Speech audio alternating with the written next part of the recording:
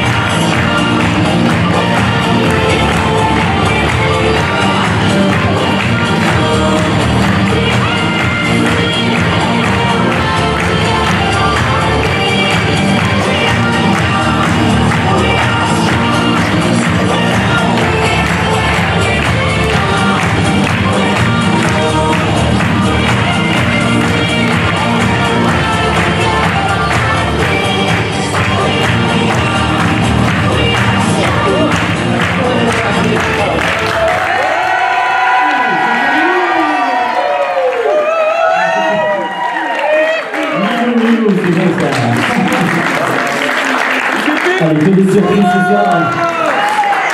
Que des surprises en tout cas pour Pascal et Jessica. En tout cas, que des surprises. Pardon.